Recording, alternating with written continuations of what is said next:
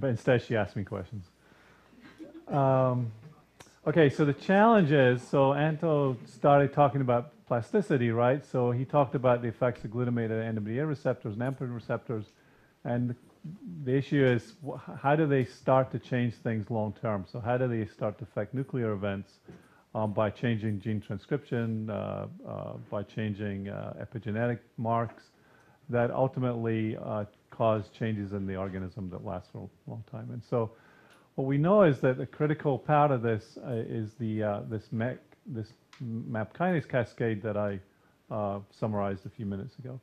So some calcium comes in NMDA receptors. There are various ways to get from calcium to RAF activation, but activates MEK, gets phosphorylated, activates ERK. ERK then moves to the nucleus, phosphorylates a bunch of things, which I'll, I'll get back to later in, in, briefly.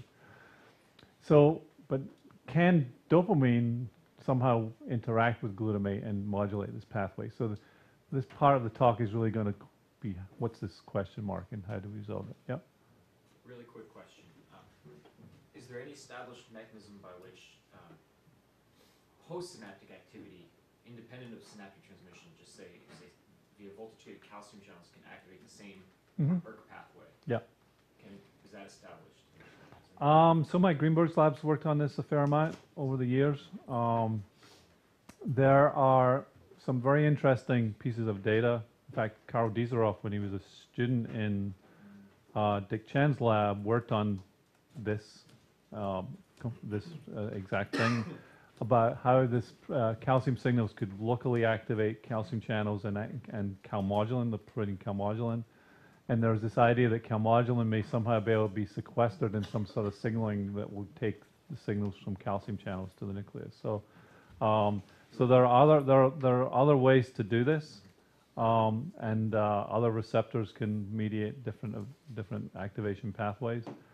I, I don't I, I'm going to try to stick to this just for to make it relatively simple. But yeah, the, there are other localized ways that a couple um, local signals to, to longer term nuclear changes. Yeah. Some of them work seemingly independently, other words are working synergistically.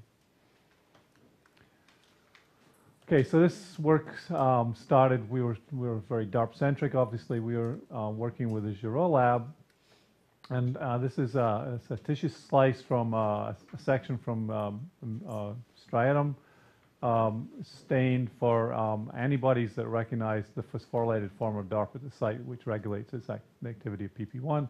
If you stimulate with a, uh, a, psychostimulant like amphetamine, but cocaine would work the same very rapidly, you see increased phosphorylation of DARP32 in a subset of neurons.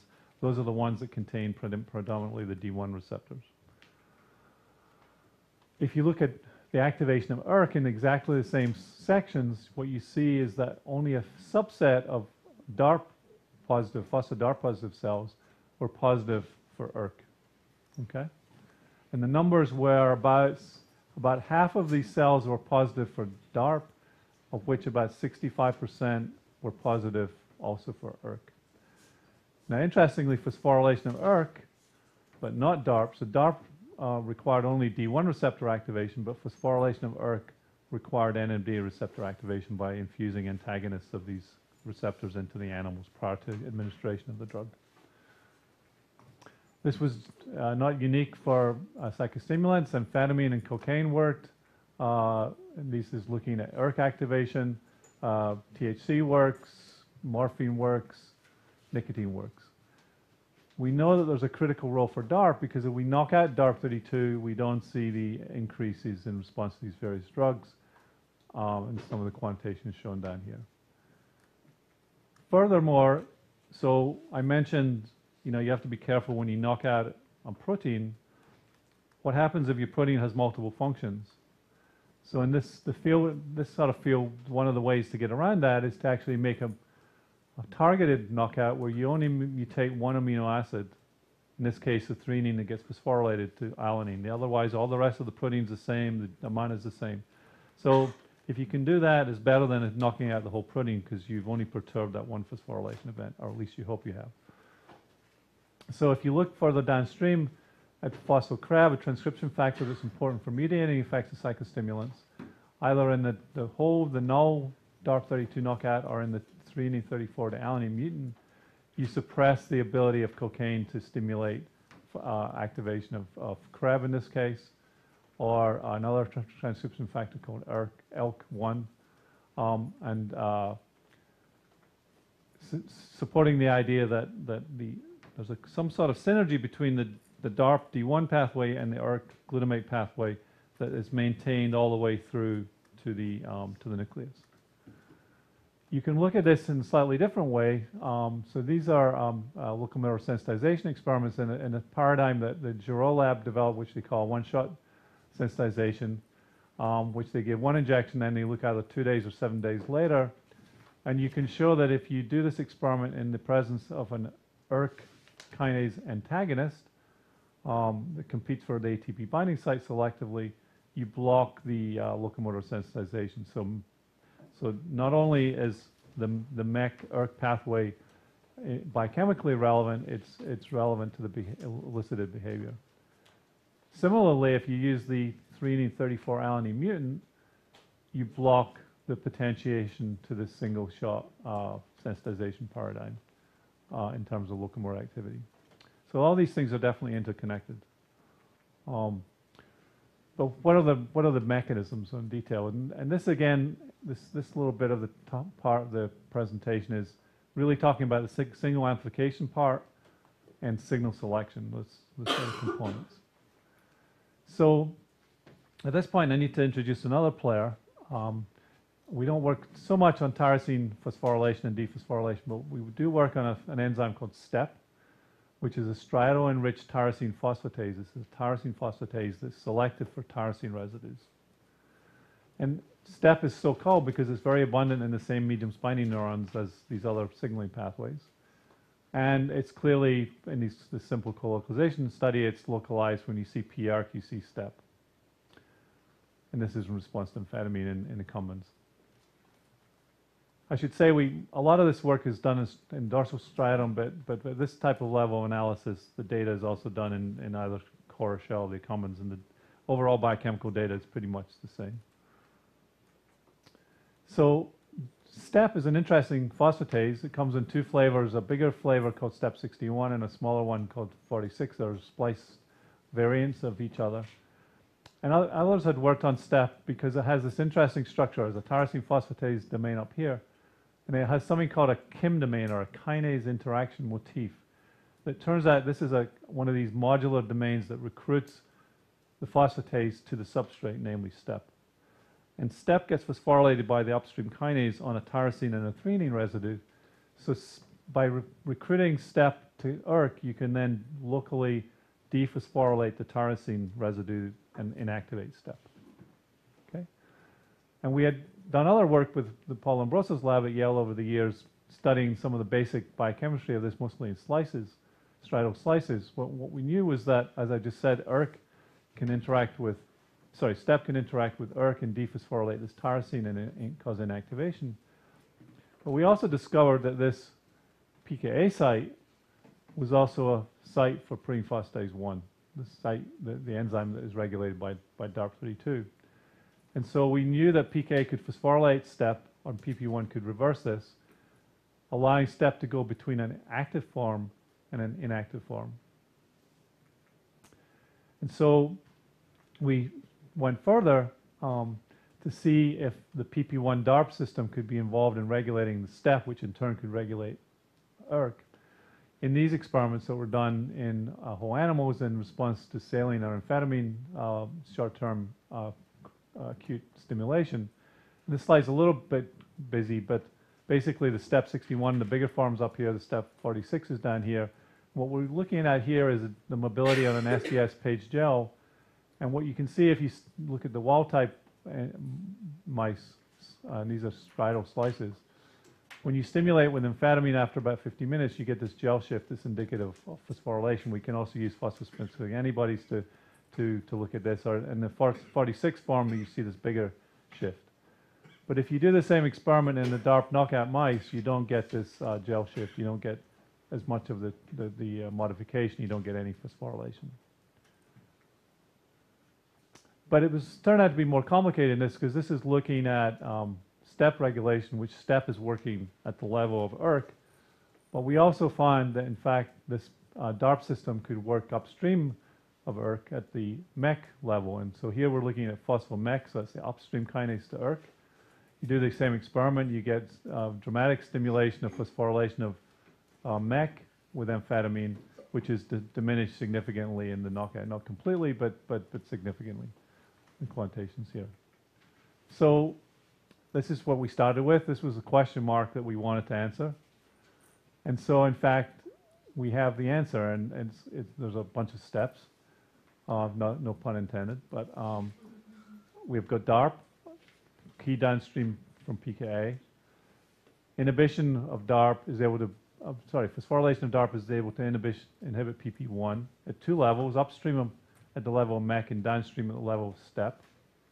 In both cases, you've got signal amplification occurring here because these are um, inhibiting uh, these phosphatases uh, through the, through this, this cascade of, of DARP.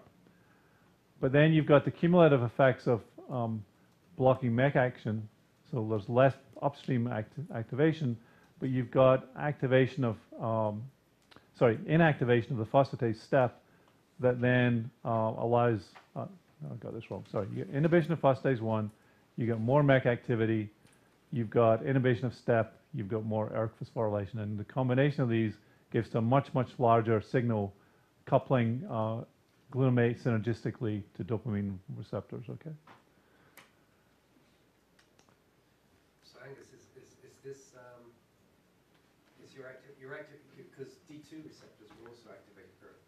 I'm going to try to come back to that. I, I, I realize that I, at one point I had it the other way around and I but switched it for, to try to make it simpler, but, but you're right.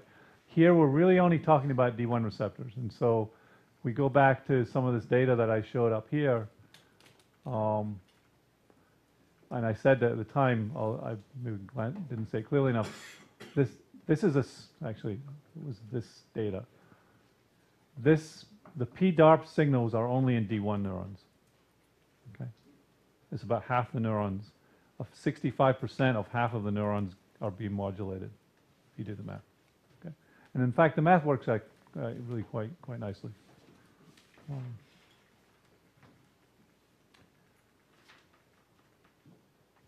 Okay, so that's part of this, the story. Um, and I won't go into the details as your lab has published in some detail on that. They went, have gone on to look further into the nucleus and, and start to discriminate different effects of ERK cascades. For example, coupling phosphorylation of the transcription factor ELK to other transcriptional events that uh, specifically are, or more or less specifically influence different aspects of behavior, such as reward reinforcement sensitization and avoidance through coupling through different subcompartments of the signaling complexes that uh, signaling pathways that occur within the nucleus, and that you can find in the in the uh, literature. Most of it's uh, published. But at a kind of a more simple general level, the uh, Jean-Antoine Girault has, has sort of posed, based on this data, this kind of um, idea that there's a connection, a coincident uh, interaction or synergy between D1 receptor activation and NMDA receptor activation that he's called this logical AND gate, the AND being they both have to add together. So the idea simply then is that you have external internal contextual information that's mediated through glutamate inputs to the medium spiny neurons. You have dopamine that's acting as a reward prediction error signal. Um, and if they both occur in the same time in the same place, then you synergistically have this AND component that then leads to potent activation of the ERK pathway. Um, this leads to uh, change in plasticity, transcriptional events, um, event, et cetera, et cetera, that then can lead to long-term changes in selected neurons. If you only have glutamate but no dopamine, you, this is not sufficient. ERK's not activated. Vice versa, if you have dop- dopamine but sorry about that. Um, dopamine without glutamate, you have the same thing. ERK is not activated. You really need to have both of them at the same time in the same place.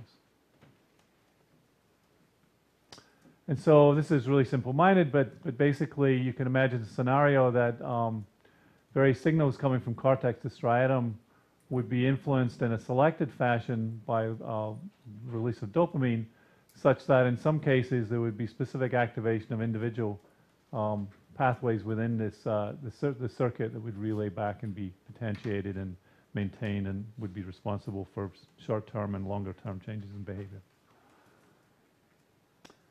Okay, so that's kind of the first little bit of the story. Um, the second bit of the story is one which is more related to signal duration and, and timing. So it's kind of some of the same stuff, but it's a little bit slight different take-home message.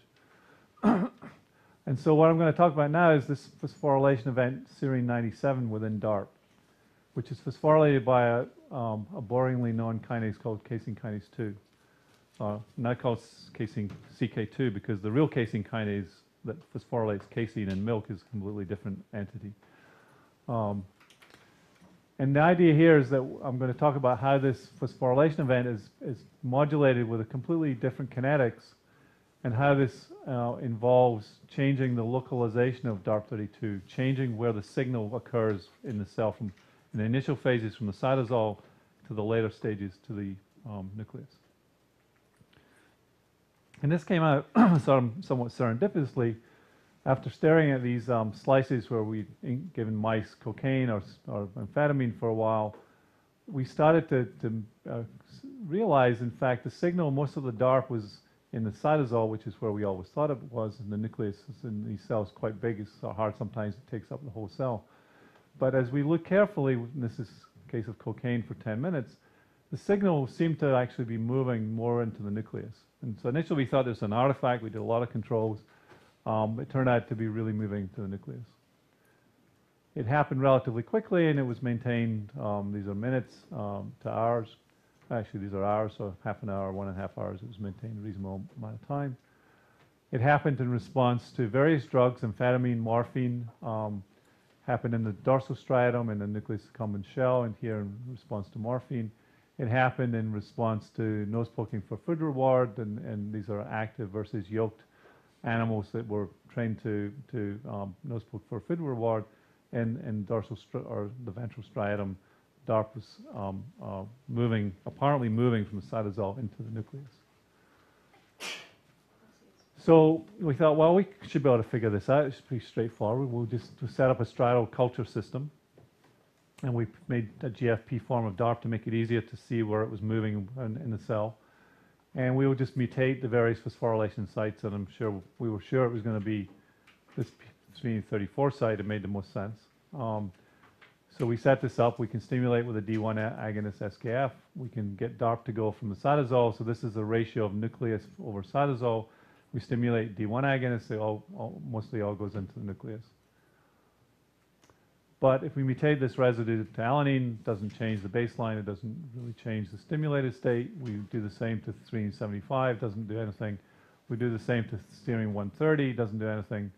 But if we mutate the serine 97 to alanine, we'd see two things. One is that the baseline level comes up, and it's no longer modulated by SKF. So what's going on? So the model, in fact, we completely had wrong where we thought DARP was in the cell. At the steady state level, when we look statically, the DARP looks like it's in the cytosol, and it's in the cytosol because it's phosphorylated at serine 97, and it's in conjunction very close to what's called a nuclear export signal. So this is a signal that pumps things out of the nucleus. So things, a lot of things go into the nucleus, but if you don't want them in the nucleus, you get them out of the nucleus as quickly as possible. And they use these signals called nuclear export signals to interact with nuclear pore proteins that allow this to, and other mol- molecules to get this to work. So in reality, what, we, what, what DARP is doing all the time is actually shuttling in and out of the nucleus very, very rapidly.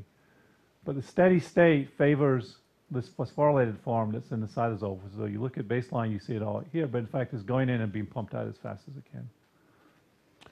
And it's part of a, a loop where there's there's a kinase. The kinase actually CK2 is more enriched in the nucleus, so this helps.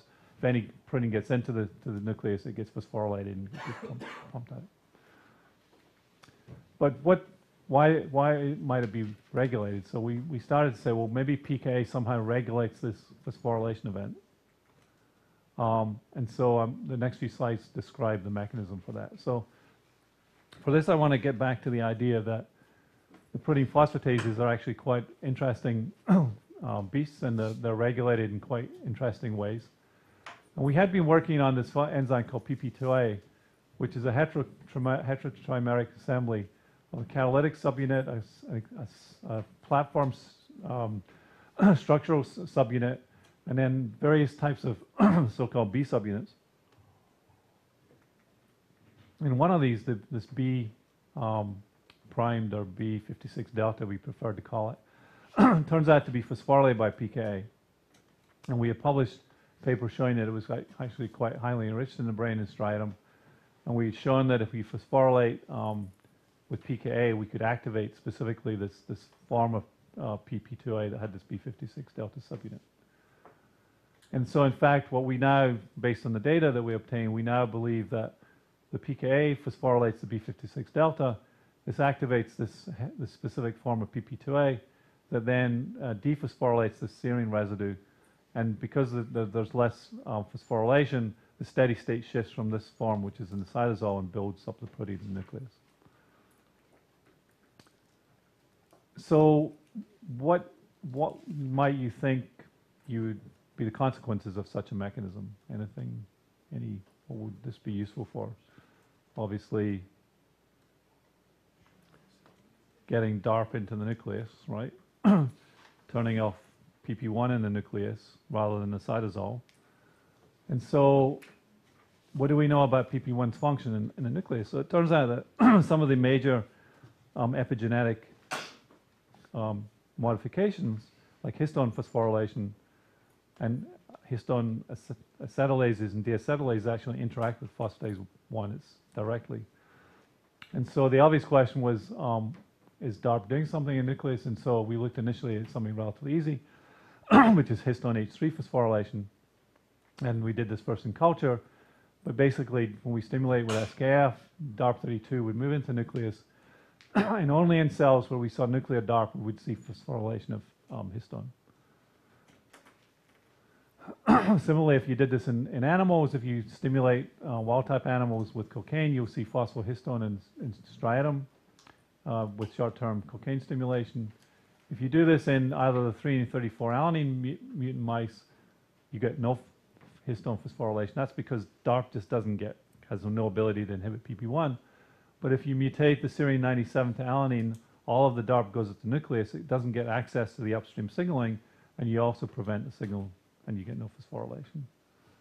And the functional significance of that was done a number of ways. This is uh, one test with conditional place preference to cocaine, where the serine 97 alanine mutation specifically uh, um, alters, reduces the uh, the the favored uh, uh, uh, box, part of the box where the the uh, mouse would have associated the cocaine reward. So, what I think is going on is is is the following, and this is really where the issue of timing comes in. So initially, DARP is in this, the cytosol. It's actually can be in the spine, uh, close to the spines and the dendrites. It's it's all through the cell. It's there because it's phosphorylated on serine 97. It's been pumped out of the nucleus. It's not in the threonine 34 form. if you stimulate with drugs of abuse or various types of learning paradigms, you activate uh, dopamine D1 receptors. Initially, the DARP gets phosphorylated on the threonine 34, where it inhibits PP1 locally, either at synapses or in the cytosol. But if you keep hitting the system hard enough, then you get activation of this, se- this so in a, a delayed fashion, the PP2A mechanism. This causes dephosphorylation of serine 97, get the steady state shift of DARP into the nucleus, where it then is able to inhibit nuclear DARP, uh, sorry, inhibit nuclear PP1. At the same time, this then increases the action of kinase such as MSK1, which is the histone uh, serine 10 kinase, and you get much more phosphorylation of histone. This is a marker for active transcription. And so this leads to long-term effects um, based on these, um, these timing-dependent, uh, signal intensity-dependent mechanisms. so basically, we think this is a timing mechanism that helps to take the system to respond to, to strong signals. So you said it takes an hour and a half for it to accumulate? Can take it can take yeah half an hour to an hour and a half. It obviously depends on the signal exactly and signal intensity, the dose of the drug, um, things like that. But yeah, And do you think that that's rate limited by transport from dendrites and spines all the way to the nucleus? I think it's a combination of a number of those things. If we do it biochemically in a, in a slice preparation, for example, or in a whole animal, it's a little harder to get to control the dephosphorylation and get the dissection done. You clearly see a delay between the initial phosphorylation of this site and the phosphorylation of the site that occurs on this guy by, by, a, by a number of minutes. So there's, there is a built-in delay. Um, you know, we could theoretically work it out based on the, the kinetics of these guys, but our back of the thumb envelope calculation sort of agrees with the, what we see. So there's, there's an inbuilt delay because of this process. And I think, and then this process also has to change too. Is there any reason why all of the DARP thirty-two might need to make it to the nucleus? Like we earlier, maybe only a few copies, right? So, Well, actually, I think all of it does at some time. It all, it lives its life in the nucleus for some finite type. It's all going in the nucleus, it has an NLS. Go, you know, why this happens, there are a number of examples, kinases that you want to put in, you don't want it to, to, you know, like CaM kinase one, it goes in the nucleus and it's pumped out really fast because you don't want it spuriously phosphorylating things that would, until you want it to happen. so I, I, this is one of many examples where um, a lot of proteins go through the nucleus and then selectively are retained or removed depending on what you want to do with them. So we're actually working on some other work which suggests that potentially glutamate signals, if, so glutamate without dopamine may be able to actually cause dephosphorylation of the site and sequester DARP in the nucleus. It actually may be removing it from the system and stopping it. And, and uh, it gives another layer of how this glutamate off, you know, non, no, non-coincident glutamate and uh, dopamine uh, may be um, involving sequestration of DARP in the nucleus to get it away from the signal. So there are a bunch of ways you could design the system. Okay, so um, where are we at now? We're going to 12:30, and it's almost 12:30, right? That's all right. So We have time. we have time. Uh, so okay, let me think about what I will do for the next couple of minutes. So we'll take a quick look. Good to have two computers. You can start figuring it out. Okay, so yeah, so I think I think I can go through this pretty fast. Some of it's really easy um, stuff. Actually, I, I cribbed this some of it from a presentation I was supposed to give at a advisory board meeting for our neuroproteomics center, and I put myself last because I knew everybody would be slow. So I had it like a 30-minute talk that I could do in 15 minutes, 10 minutes. When I got up, there was only two minutes, and so I managed to do it in two minutes. So it's actually, you never know. uh, okay, so this has come up a few times, and, and obviously. Um, what I've been telling you in terms of medium spiny neurons is really kind of only half the story, right? Because you already know that D1 and D2 receptors are probably largely separated, and so you know what's happening with D2 receptors, and and I say D2 receptors can lower cyclic AMP levels, but if there's no D1 receptor, what are they working against? And so I'll answer that simply. We think it's the A2A receptor that's providing a tonic cyclic AMP signal that the D2 receptor is then able to antagonize. And there's a lot of data, I'm not going to get into that, but that's pretty, seems pretty clear.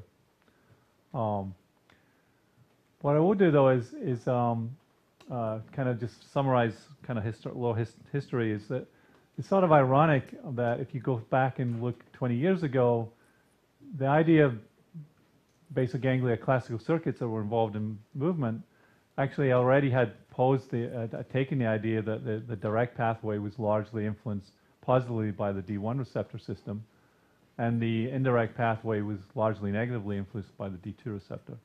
Then there was a period of confusion, um, and I won't go through this for the sake of time, but the confusion came up because people started to look for the with bad antibodies to D1 receptors and D2 receptors and said they're in the same cells. Um, they did in situ hybridization and, and with amplification protocols that were basically, you know, not in the right, not linear range. Um, they did single cell PCR. It was the same problem that, that they were getting stuff that saying that, you know, 50% of the cells had both receptors, which was clearly just, just an error. and then there was some biochemistry, Anto alluded to some of the types of experiments he did, where people put D1 and D2 receptor agonists onto slices, for example, and they saw synergistic effects that seemed to be only explicable if the receptors were in the same place. But I think uh, the, the field has shifted back. I think we really now think, particularly because of the use of these back transgenic mice and other uh, approaches, that the, in, in the medium spiny neurons, that D1 and D2 subclasses are segregated into roughly into two halves. D1's localized with substance P dynorphin. They're the direct pathways. The D2 localized with enkephalin. These are the indirect. Um, but things like the important proteins that, I, that we study, like DARP32, are in all the medium spiny neurons. So, so they have to exist with different types of signaling pathways. And I won't get into this, but one of the reasons I think we have these complex um, signaling pathways associated with DARP and phosphatases is actually we want to do, we're not just turning one on in one cell, we're turning one the same pathway off in another cell, and we have to kind of bring them up and down in a controllable fashion. I think that's why all the complexity is in there, um, because it gives us much more control of the shaping of those responses, both on, a, on the on-side as well as on the off-side. So we, you've probably seen some of these pictures. These are generated by the GenSat group where they coupled the uh, D2 promoter to, to expression of uh, GFP. This shows the, uh, the, the, indirect pathway neurons that stop in the globus pallidus. Uh, the D1 uh, uh, projection neurons, the direct pathway project all the way through the globus pallidus to, to the, terminals in the nigra. These have been used by a, a, number of different ways by a number of investigators. Um, I'll summarize some of that data. But you know, one of one more quantitative pieces of work was done by the Giraud lab. So they looked at, you know, so we know that DARP is on, in 95%, probably 100% of all medium spiny neurons. So if you look at co-localization of DARP with uh, the D1 uh, promoter mice with GFP, you get about 55% of the DARP positive mice are D, D1 positive. For the D2, it's about 45%. This is dorsal striatum, which means there's probably about a 5% co-localization. So is it in these cells with 5% co-localization that you get dimerization of receptors and you get different signals? Are the, um, are, are, are, you know, it, does it really matter that you get this co-localization? I mean, those are important questions. If you look in the commons, the overlap is, is more, it's about 17%. So obviously there's some differences there, and again, you ask the same questions, and we need the right tools to be able to interrogate that, because uh, it's hard. You just, if you manipulate just the, the D1 cells or the D2 cells, you're probably not going to be able to get at this overlapping population. So clever people are going to have to come up with clever approaches. and this is what I alluded to earlier, but if you look at um, response in a whole animal to cocaine and look at uh, histone H3 response, then um, it's only in the D1 cells. So it's a little, maybe a little misleading here, but you only see in the merge, you see sign orange signals because of the mix of red and green. But if you look in the D2 cells, you only see red because it's not localizing with the D2 cells. And there's a lot of data like this. It really looks like the vast majority of the D1 and D2s are segregated. Cholinergic interneurons express both D1 and D2. Do they express DARP32? No. I mean, maybe at trivial levels, but based on the backtrap data that's available, it's very low and the antibodies are really, we, we, we published, you know, EM, a whole bunch of things 30, 25 years ago, and it looks pretty clean. Um, so there are differences in, in the two cells, um, as people like Jim Surmar have, have shown. The, the, the, D1 cells have more dendrites, more branches compared to the D2 cells. Um, they have, uh, uh, if you do the single cell PCR the right way, you do see the specific uh, enrichment uh, of the D1 receptor and substance P in the D1 cells, uh, enkephalin and D2 receptors in the D2 cells. And so you can kind of go back retrospectively and work out your conditions to figure out which ones are the right ones. they do have different electrical properties. I'm not going to get into any details on that. there have been a number of re reviews published. Um, this was this was a nice summary from a few years ago from the Giraud lab. If you want to go back, but there are changes in, in morphology, there's changes in plasticity, changes or differences in plasticity between the two types of cells. It's a little complicated to summarize quickly, so I, if you're interested, you should go back and read the source material. What I will do is I just want to focus a little bit on the intracellular signaling because I think that's relative to the rest of the talk. Um, I've already said a little bit about specificity for P phosphohistidine. Phospho-ERK similarly is only largely in D1. But what about DARP? So, so Helen Baidup who was a, a student in the Gringard lab, did a nice study a number of years ago now, um, where she took the D1 promoter or the D2 promoter and uh, made mice that uh, put the D1 uh, promoter upstream of a form of DARP with a flag tag on it, so a little tag that you can use to immunoprecipitate. Or in the D2 mice, you made a DARP form that had a MIG tag on it that you could immunoprecipitate with a different antibody. Then mated the mice, so you had a mice line that had both the, the flag and the MIG forms.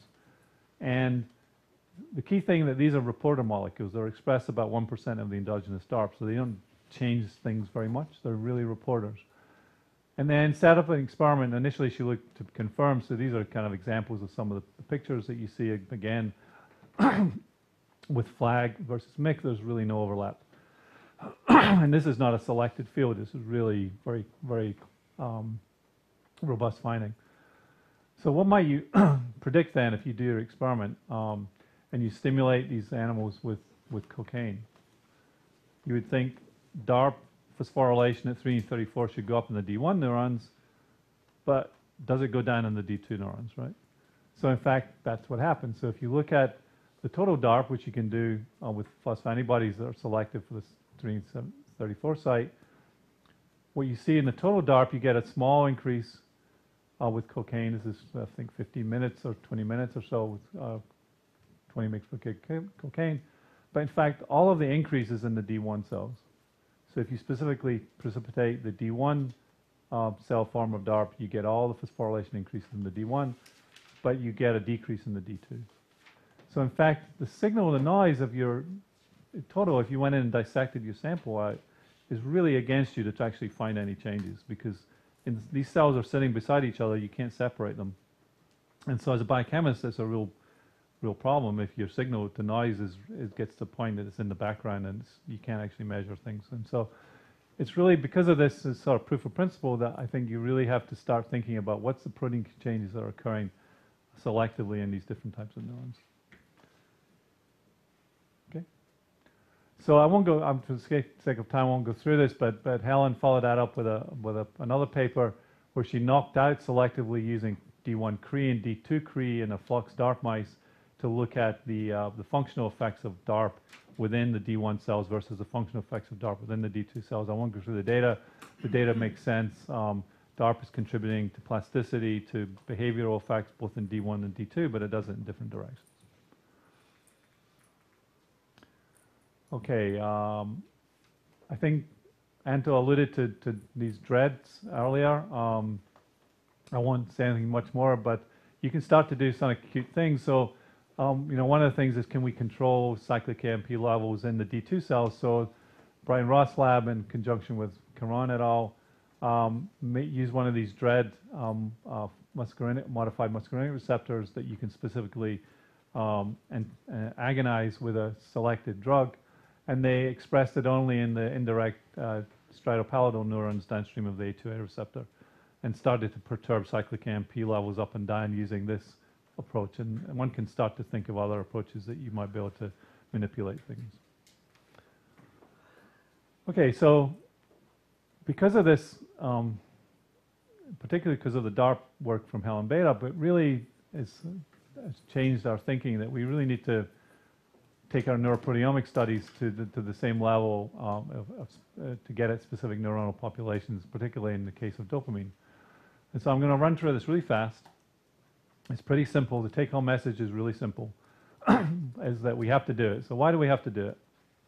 The first thing is you're going to hear from Eric Nestler on, on Sunday, I guess, uh, talk about RNA expression. Everybody likes RNA-seq. But uh, the bottom line is that studying RNA is not studying protein. Um, so in fact, there's a really poor relationship between levels of mRNA levels and protein levels. I mean, this is done, you can look at this, this different scenarios. This is a really nice paper that came out a couple of years ago. If you look at the total number, so the cellular half-life of an mRNA is about nine hours. The cellular half-life of a protein is 46 hours. The number of copies of an mRNA, the, the median is 17. The median number of copies of protein is 16,000. If you look at the relationship between half-life of protein and mRNA, there's no relationship at all. If you look at the relationship between um, protein and, and levels and, and mRNA levels, it's, it's about, uh, cor- correlation is about 40%. So you simply can't just take RNA data or epigenetic data and simply say that's going to be a change in the protein. You need to look at the proteins. Obviously, there's a lot of levels of transcriptional translational control. There's protein uh, degradation. There's microRNAs that are providing local regulation of RNA expression. Um, but in, in, in any event, you have to look at the protein. Um, what it looks like is that the reason that there's oh, this this comes about is that there are mechanisms that control the overall rate of production of proteins, not specifically the rate, but the amount of protein that's made. It's a complete, complex model, but basically, um, the translational rate is, is, is, is modulated at the level of the ribosome, probably. Now, this is not um, obviously a new problem. Um, it's an old problem. Cahill recognized it. We know that different neurons have different shapes, and as, as Jonathan mentioned, the idea of having a uh, um, you know a barcode that will identify gene expression. At the same time, I think we need a protein barcode because it's, that's going to be a better readout of the, what's going on. Um, but obviously, I've already alluded, this presents really major limitations in terms of signal noise. And then we have other things that go on in, in neurons. So uh, they have different compartments. We can get local protein synthesis, local proteasome mediated degradation. Um, we have uh, all these PTMs that we've talked about. So if we're going to understand protein function and how it relates to uh, neuronal function and behavior, we're going to have to actually study proteins. Um, now, some methods, such as the backtrap method that's been mentioned, um, and the ribosomal profiling methods from uh, the Weissman lab, may take us closer from the mRNA to the protein, and I think that needs to be looked at. But um, uh, and, and, for those of you who don't know the backtrap technique, um, the backtrap technique was developed by the Green Garden Heinz labs using the GenSat back promoters, but instead of driving expression of GFP, as is shown here, what they did was they, dri- they drove a GFP tagged uh, ribosomal subunit, L10 large uh, ribosomal subunit, in specific neuronal subpopulations and then immunoprecipitated the polysomes just from that um, neuronal subpopulation and then did a microarray and now RNA-seq to look at the um, the profiling of uh, gene expression within those individual cells. And there are now something like 120 backtrap lines available from the Heinz lab. And as Jonathan mentioned, there's a new P30 grant that's give, giving money to NAT to make more lines. And so anybody who's interested in a specific line, get in touch with, with Nat because he may be able to help help you out because we're, we're at the moment we're just prioritizing which things we really would like that we don't have. Um, but this method works really well. It gives a lot of information about specific um, neurons and how their, their, the gene expression is altered within their neurons. Um, another approach has been uh, taking out similar ideas from Huang et al. came out a couple of years ago, a, a year ago, where they used the same approach to express tagged argonaut proteins and used that, that to immunoprecipitate microRNAs to get a picture of the specific microRNAs that are um, being expressed in the same neurons that you might want to see the gene expression. So that will probably help. Um, but you know, can we, can we keep up? Can neuroproteomics keep up and complement these neurogenomic approaches? And so I think we can, but it's a challenge. We can't amplify proteins. That's a big problem. We get what we get. and so um, we're going to have to come up with better ways to approach this, this, this problem. Um, but we need to because these other fields, optogenetics and, and uh, all these other cute, uh, methods that, that people are using are moving ahead very rapidly and, and we're kind of lagging behind. We have to sort of try to play catch up. Um, so I won't go through the details too much. We're sort of running out of time, but, but uh, basically the approach that we want to take is to, to, to, to, to use mass spectrometry to study proteins. It's probably the best way we can do it. It's the most sensitive. We can look at the animal to femtomole level proteins uh, and peptides. So it's, it's within the range that we, we probably want. But we have to be clever about it. We have to be quantitative. We have to understand experimental design and factors that affect technical and bi biological variance. And there are a bunch of specific challenges in the CNS that I've already alluded to. So I'm just going to mention uh, one, one, or, one or two things that we're, we're doing. Um, so we have all these, these transgenic mice, can we do something with them? Well, you might think, well, maybe we could FACS sort. that makes sense, right? And you might hear a little bit about that. I don't know if Williams going to talk about that. So initially, I was very skeptical about fact sorting, but I, I'm coming around. So, um, but we might instead of looking at whole neurons, because the problem with neurons is they got different bits. So maybe we should look at bits of them, um, and look at subproteomes using rapid methods. So um, our idea was to look at things like nucleus, mitochondria, synaptic vesicles, uh, sort of divide up the problem and see if we can get it to work. Um, and then in, in concert develop mass spec methods that, that will allow these uh, analyses to happen. So, so here's a question. So I've said that we have these um, backtrap mice. Um, so where, where are ribosomes assembled? Where do you make your ribosomes initially? Sorry? Initially, Initially, yeah. Anybody? No cell biologists here? The nucleus, the nucleolus. Right. So in fact, it turned out, fortuitously, all these backtrap mice have got labeled nuclei. So we thought, well, let's exploit that, and we can. We're interested in epigenetics, so we can go after nuclei. That's a good start. So uh, uh, Emmanuel Jardy is a student uh, who was in the Giraud lab, who worked with me in the Gringard lab over the last couple of years. We just published this paper. So basically, what she said was a method that we can take the D1 and D2 backtrap mice and then set up this uh, permeabilization and fixation methodology to fax um, either fax analyze or fax sort nuclei, and it works really nicely. We can separate the the, uh, the the nuclei. We have to separate singlets, so we don't want the things aggregating together. So there's a bunch of technical things to do this, but we get really nice enrichment of the sorted nuclei from. Um, we're talking about 90,000, 60 to 90,000 nuclei here, so it's not a lot. You get about half a microgram of protein at the end. Um, but it's enough to um, do some Western blots, and so um, we looked initially at histone phosphorylation and acetylation, and not unexpectedly, we see by Western blot or by fax anal- analyzer, we see uh, specific effects of uh, acute cocaine on um, histone uh, uh, H3S10, only in the D1 nuclei, but not in the D2.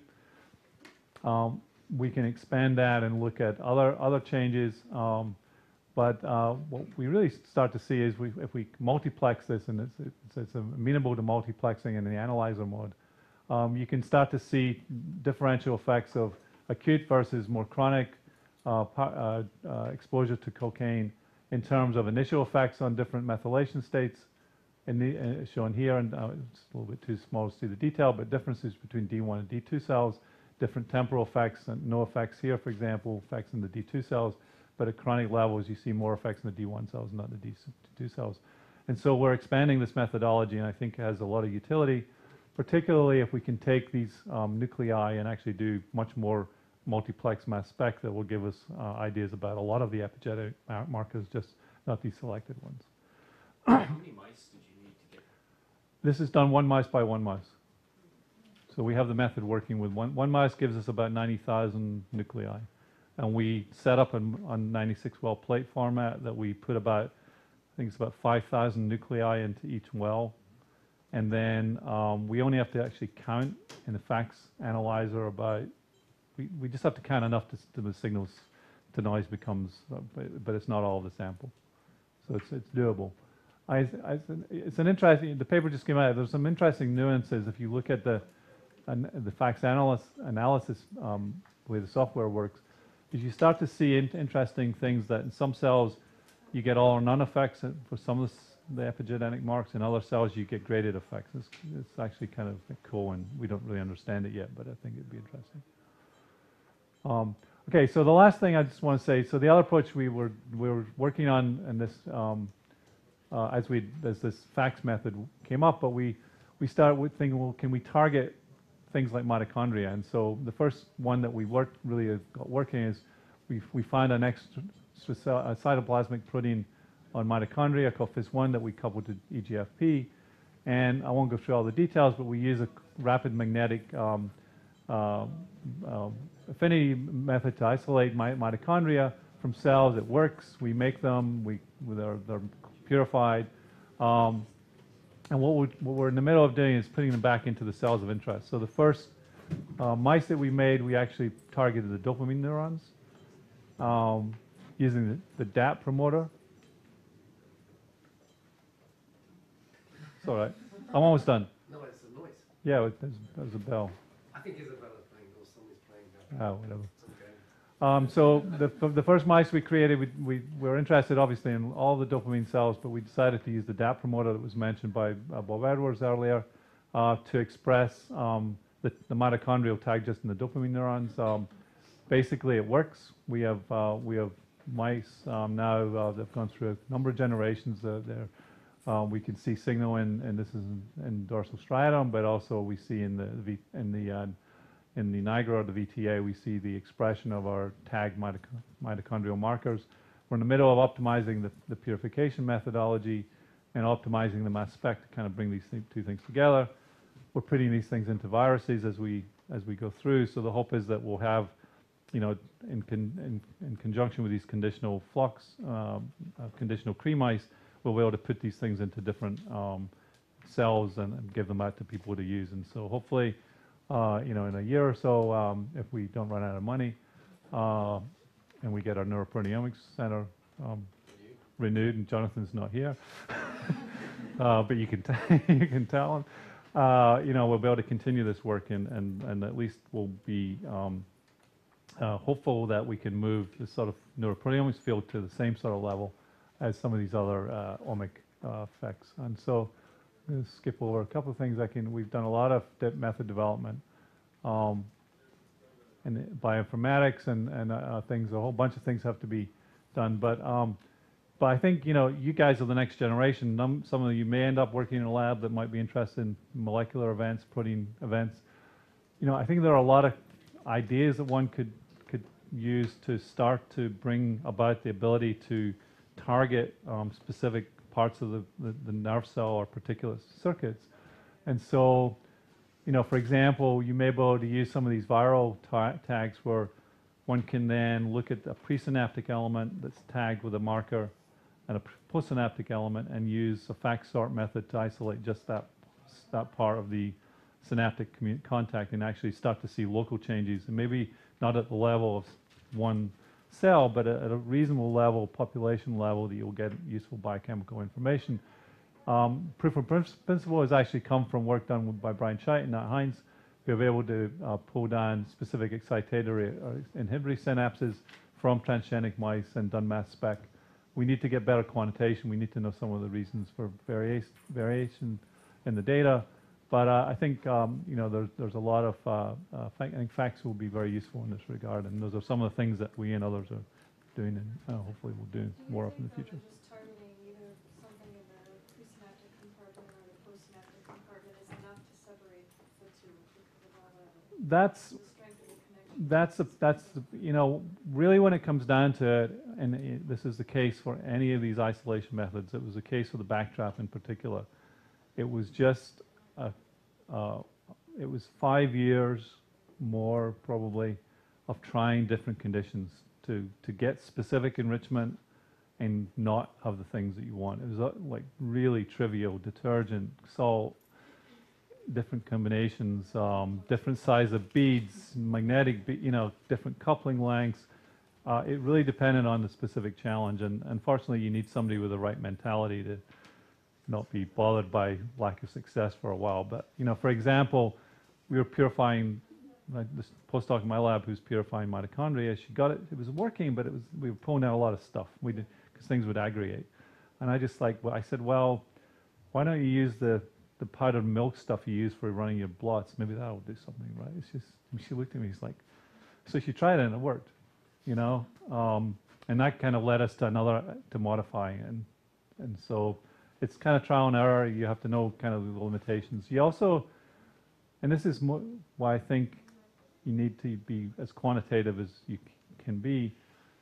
You need to have some sense of what the signals are. You need to know the amounts of materials you you want to interrogate, and you need to know then how how much do you need to increase your signal to noise. So you may not need to you may to get data. You may not you may only have to increase your signal to noise fivefold. So it may not be you need to get absolute purity, right? You, you just have to get enough of the thing you're interested in because with sophisticated bioinformatics and data analysis, you can normalize out a lot of the variables. Um, so I mean, not the variables, but the non-variables, and, and go for the things that you're interested in. So, so you have to look at those and, and, and balance them against each other. Okay, so that's, I'm done. Very good. Thank you.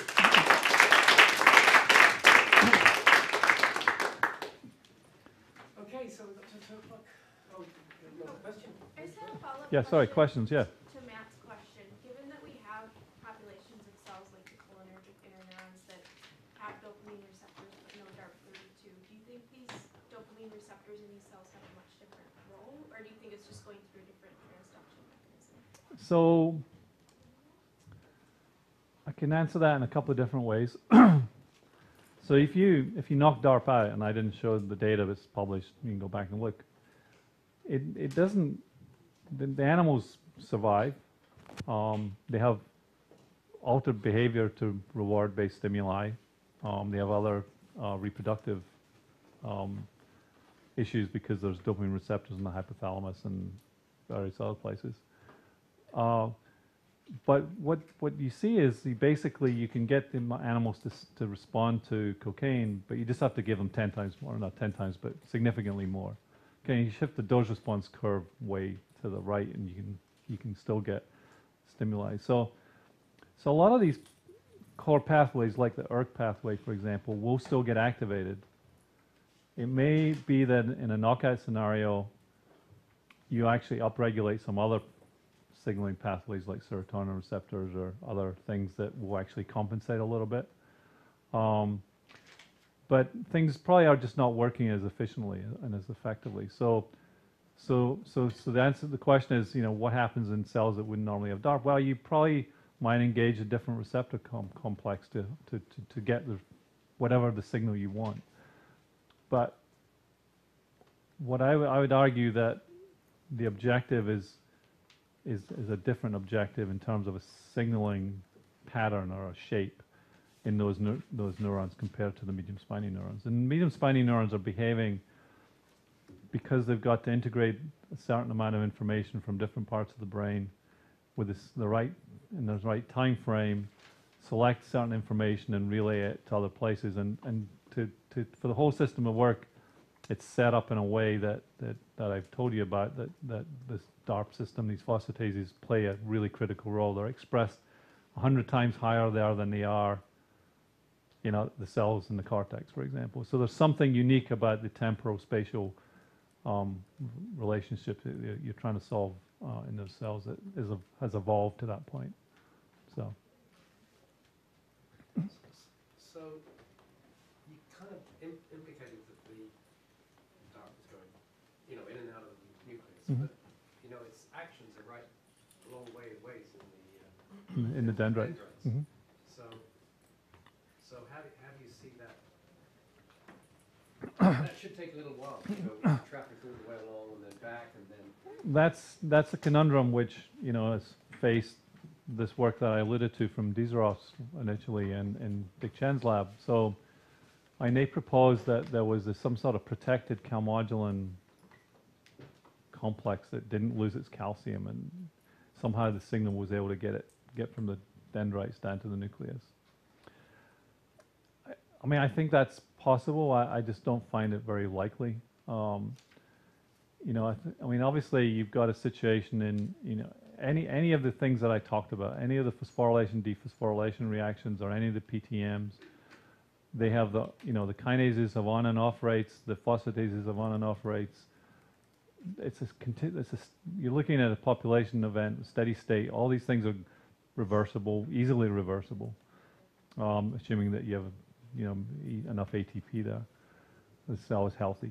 um, so I think you know I, you, I, what you see it would be more you know the information would be passed because the kinase that would then talk to the next molecule and then there would be a phosphatase and it would, you know the information would be relayed I think molecule to molecule to molecule. I mean if you look at um, there's not been very much work in neurons, but if you look at some of the dynamics of there's been a little bit from Sobada's lab on PKA signaling, um, and uh, also some work from this guy at Duke who look at G protein uh, signaling. I forget the Japanese guy's name. Yeah. Um, there's been more work in uh, in from Roger Chen's lab in in cell lines. Uh, so clearly, there, you know, you activate PKA. If you activate it a little bit, it'll be local. If you activate it a lot, it'll go further away, and it'll go to the nucleus, and then it'll come back again. Um, so depends on strength of signal, depends on shape of cell, depends how far you have to go. Uh, I think all of the, you know, but but it's these things have the ability to move within the cell. Some cases they'll be have their phosphorylation will go with them. um, there are other ways to do it, which um, we haven't actually looked very much at in terms of the DARPP system, but there are proteins that bind to phosphorylated proteins and prevent their dephosphorylation. So you can imagine cases where you could sequester something that they would then all go as a signal, and that would help. So things like that can happen. Have you found any um, signaling which affects local translation of proteins? Uh, we have a project in the lab, yeah, um, that we, I've worked on this for a long time at kind of a low level in terms of um, translational control. Um, I, I, I think that um, local protein synthesis definitely exists. Um, it made a lot more sense when there were only a few mRNAs that might get to where they might be locally synthesized, and there were some good, I think, good examples of that.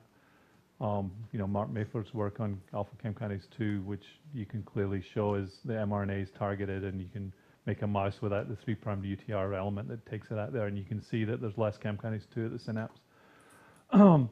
but with um, Erin Schuman's recent work, it's kind of muddied the waters because she's saying there's a lot of mRNAs that are there. And then she's saying there are also some in the axons and some are they in the terminals. And we've worked on that hard and negatively. um, you know, you can't see rough VR in terminals, for example. There's definitely some in axons. Um, there's good evidence that local protein synthesis occurs during development, um, in axonal development, but um, and probably in dendritic development. But exactly what's going on in in, in uh, adult neurons, I think there is, but it's it, you know there's there's a, there's a lot of, to be learned. So that's still a big question mark in your, in your brain, Yeah. Yeah, so we work on the kinase called elongation factor 2 kinase, which is is uh, been shown by um, Erin Schuman's lab and, and others to be locally regulated but in response to minis, for example. Um, the first author whose name escapes me went to Michigan, um, Mike Sutton, has, has shown very local control, calcium-dependent control of uh, elongation in, in dendrites, and so that relates to the proteins being locally synthesized. So it definitely, it definitely is, the regulation is there, it definitely works. Um, functional consequences still unclear. Just wondering um, how the receptors for dopamine are se- selected. I mean, how uh, there is any cross recognition between serotonin and dopamine in terms of um, activation of uh, downstream signaling pathways. So uh, somebody asked me this question at the break, or uh, yeah. So we sort of touched on this a little bit. Um, so there are a couple of things. One is uh, you can actually do experiments. Most of the best, the easiest controlled experiments are in tissue slices, kind of for a similar reason that Anto said. Um, we uh, people in Green Lab have exploited those um, preparations, and there's a published data showing virtually every agonist for every receptor that you might think might be in a striatal slice. We've we've looked at it, and you know it's a quantitative um, discussion on, on one hand. I mean, you see changes. Sometimes the you know the dopamine res- response is the most robust, and you see other responses that are less robust. In some cases, you see some responses uh, uh, modulate the dopamine response in different ways. So I could point you in the direction of those those publications. It's we've never really um, we've we've reviewed it, we've written about it, we've drawn pretty pictures with uh, lots of stuff.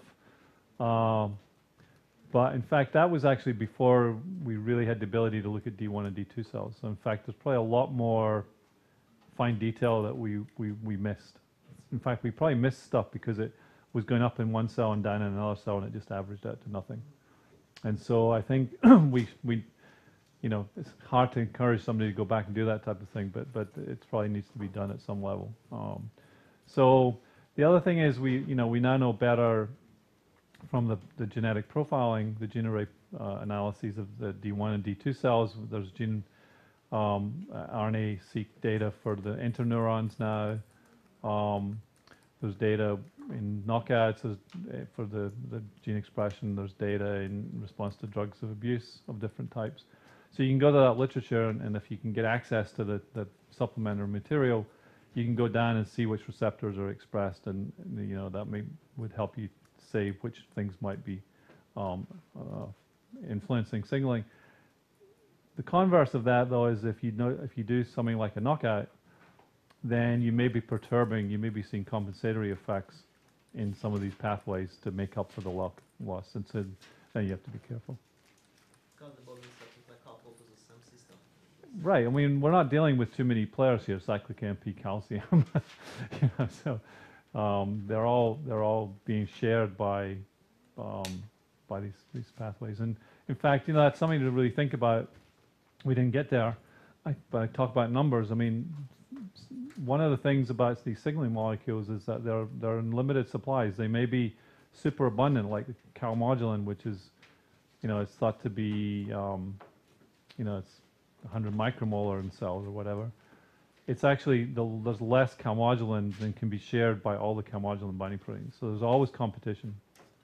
Um, in the case of DARPP, we know there's about 100 micromolar DARPP. There's actually more DARPP than there are the phosphatases that it inhibits. So that sets up a different scenario. Um, so you have to look at those, those sort of quantitative numbers to, to assess these sort of things.